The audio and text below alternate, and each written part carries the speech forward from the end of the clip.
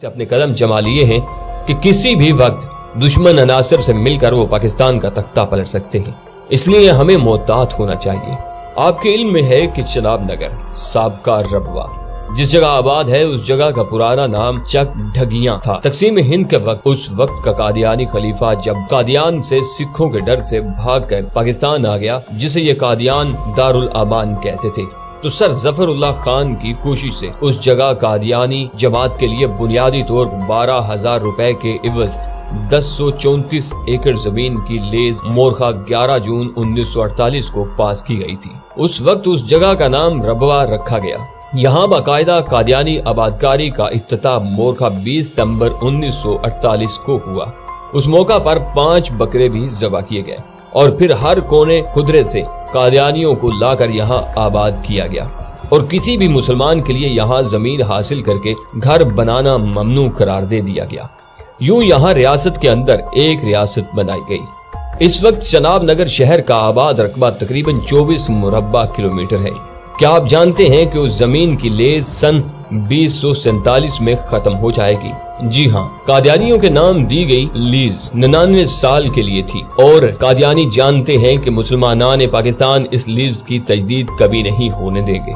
कादियानियों को भी इस बात का एहसास है कि क्या होगा। इसलिए कादियानियों ने इस खतरे को भापते हुए चनाब नगर से सरगोदा की तरफ़ की ज़मीन मुँह मांगी कीमत पर खरीदनी शुरू कर दी है। कि अगर जनाब नगर की ज़मीन की लीज मनसूख हो तो हमारे पास अपनी जाती मलकीती ज़मीन उसके मुतबादल के तौर पर मौजूद हो। इस मकसद के लिए सबसे पहले चनाब नगर के साथ अहमद नगर नाम की एक बस्ती भी पहले ही बसाई जा चुकी है, जहाँ मिर्ज़ा मसरूर का फार्म हाउस भी है। और इतलात के मुताबिक वहाँ से आगे भी चार पाँच गुना ज़्यादा कीमत पर धड़ाधड़ जमीनें खरीदी जा रही हैं। और हमारे नाम के मुसलमान पैसों के लालच में कादियानियों को अपनी जमीनें फरोख कर रहे हैं। बिल्कुल ऐसे जैसे फलस्तीन में यहूदियों ने मुँह मांगे दाम देकर मकामी मुसलमानों से जमीनें खरीदी और अब वहाँ इसराइल कायम है। नाजरीन, मोहतरम इतलात के मुताबिक कादियानी सरगोदा की हदूद तक पहुँच चुके हैं। मेरे ख्याल में कादियानियों ने अपने नए शहर का नाम अहमदनगर रखने का सोचा हुआ है, इसलिए ये बस्ती सबसे पहले कायम की गई है। हमें ममलिकत खुदादाद पाकिस्तान में एक और इसराइल बनने से रोकना होगा। उसके लिए लोगों को बताना होगा कि थोड़े से दुनियावी फ़ायदे के लिए अपनी आखिरत को बर्बाद न करें। अपनी जमीनें इन्हें न बेचें। इसराइल की मिसाल आपके सामने है कि छोटा सा हजम रखने वाला मुल्क कितना ताकतवर हो चुका है। यहूदी फलस्तीन के छोटे से रकबे पर कदम जमाने के बाद आज फलस्तीन के बड़े हिस्से पर काबिज हो चुके हैं। और जब चाहते हैं वहाँ के बकिया मुसलमानों को बमबारी से मार रहे हैं, फलस्तीनियों की नस्ल कशी के पीछे उनका मकसद ये है कि वहाँ के तमाम मुसलमान खत्म हो जाएँ। और सारी ज़मीन यहूदियों को मिल जाए। नाजरीन मोहतरम, मेरे ख्याल में यही फार्मूला पाकिस्तान के लिए अपनाया गया है।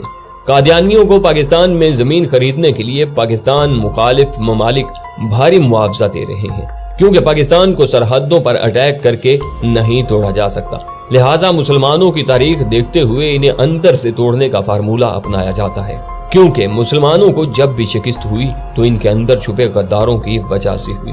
मैंने कभी भी पहले आपसे अपनी किसी वीडियो में रिक्वेस्ट नहीं की कि वीडियो को शेयर करें। लेकिन आज इस वीडियो के लिए मैं आपसे रिक्वेस्ट करूँगा कि इसे इतना शेयर करें कि हमारे आला हुक्मरानों तक पहुँच जाए ताकि वो लोग ये फैसला कर सकें कि हमारे पाकिस्तान को हमारे अंदर से खतरा मौजूद है।